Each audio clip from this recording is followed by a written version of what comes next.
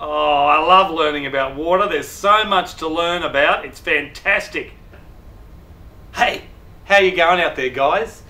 I'm Michael from Seqwater, and we normally come out to visit you guys at school, or you come to us at one of our dams. But because of the coronavirus, we can't get out, and you can't get out either. So I want to let you know we are going to come to you, and we're going to have so much stuff online that you can have to look at and have really good fun and learn all about water so that you still know about it. We're going to share the story of the Golden Tap. We're going to learn about climate change, population growth, and day zero. We're going to visit the H2O Museum. We're going to learn about how much water do you eat? And a whole lot of other stuff. There's going to be worksheets, there's going to be videos, there's going to be games, and we're going to help you build stuff, just like the water wall. And we're going to have a great time. So check out our website, www.seqwater.com.au.